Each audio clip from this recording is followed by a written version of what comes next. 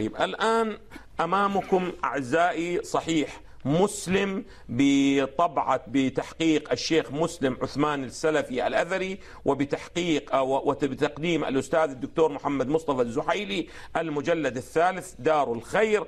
في المجلد الثالث أعزائي في صفحة أو كتاب الوصية رقم الحديث 21 من حديث 1637 في هذا الحديث الرواية عن ابن عباس أنه قال يوم الخميس وما يوم الخميس ثم جعل تسيل دموعه حتى رأيت على خديه كأنها نظام اللؤلؤ.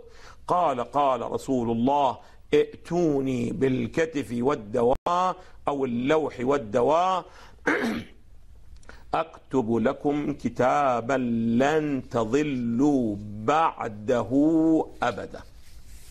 إذا يعد هذا الكتاب لعله من أقدس الكتب التي كان يريد رسول الله أن يكتبها. إنه جزم فقالوا أحسنتم باعتبار أنه ينفي الضلال الأبدية عن الأمة, عن الأمة. التي هي الغاية الأساسية من بعثة الأنبياء والمرسلين. فقالوا إن رسول الله يهجر. والهجر أعزائي هو الهذي. يعني أن كلامه متوازن أو غير متوازن. أنه حق جميعه أو ليس كذلك. لا قد يختلط مع كلام مع كلامه ماذا؟ غير الحق. أيضا. الرواية الثانية هذه الرواية تقول فقالوا. من الواضح أن الذين قالوا كانوا مجموعة من الذين حضروا ذلك المجلس. النقطة الثانية أو الحديث الثاني الرواية لما حضر رسول الله يعني احتضر رسول الله لما حضر رسول الله وفي البيت رجال فيهم الخليفة الثاني عمر بن الخطاب فقال النبي صلى الله عليه وآله هلم أكتب لكم كتابا لا تضلون بعده؟ فقال عمر إن رسول الله صلى الله عليه وآله قد غلب عليه الوجع. اذا التعبير الأول أن قال بعضهم يهجر التعبير الثاني قال بعضهم ماذا؟ غلبه الوجع. وعندكم القرآن حسبنا كتاب الله. فاختلف أهل البيت. مراد من أهل البيت يعني أولئك الذين الحضور. كانوا الحضور. أحسنتم. فاختصموا. فمنهم من يقول قربوا يكتب لكم رسول الله كتابا لن تضلوا بعده. ومنهم من يقول ما قال عمر. يعني صار في داخل البيت ماذا؟ اصطفاف. صار اختلاف. صارت جبهتان. صار اتجاهان. صار خطان.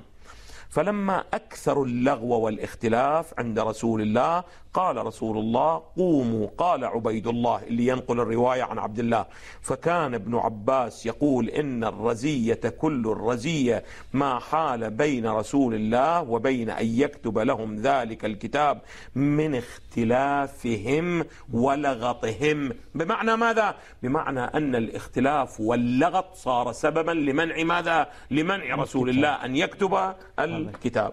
هاي الرواية هنا.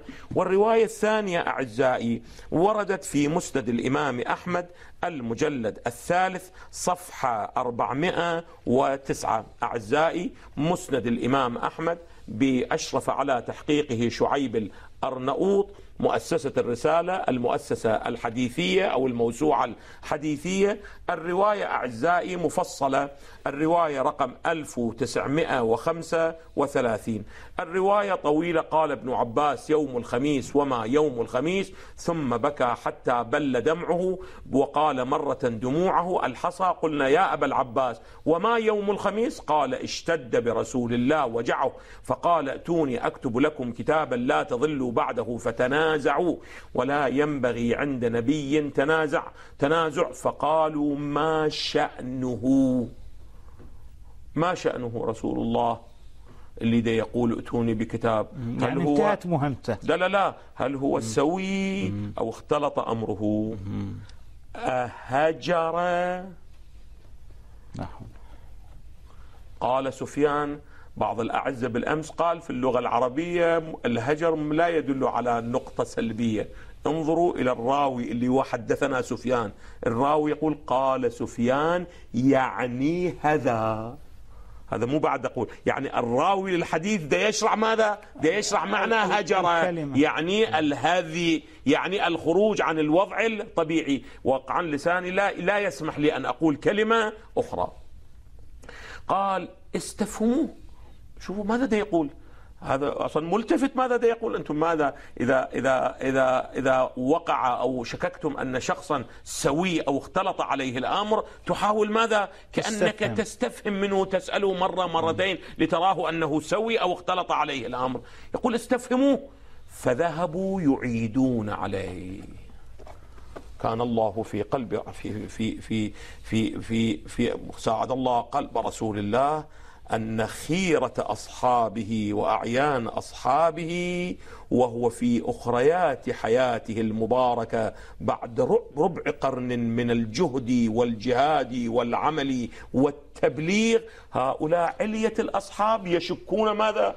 يشكون في رسوله. في رسول الله أنه سوي أو أنه لا اختلط عليه الأمر بينكم وبين الله هذا هو الذي يقال بأن كل الأصحاب كانوا عدولا وكلهم كانوا من الأئمة وكلهم كانوا يجب أن يقتدى بهم وكلهم هكذا. وهذا يعني هو الإيمان يعني بعصمة يعني النبي. بعصمة النبي. لا لا بعد ذلك أكثر من عصمة النبي يا ريت. هاي القضية مو عصمة النبي وأنه النبي سوي أو ليس ماذا؟ ليس شكوا في أنه سوي أو لا. قلت بأن هناك كلمة لا أجرؤ بيني وبين الله لا أجرؤ أن أقولها في حق رسول الله. ولكن هؤلاء من حيث العالم العمل ومن حيث الكلام قالوا أهجر استفهموه.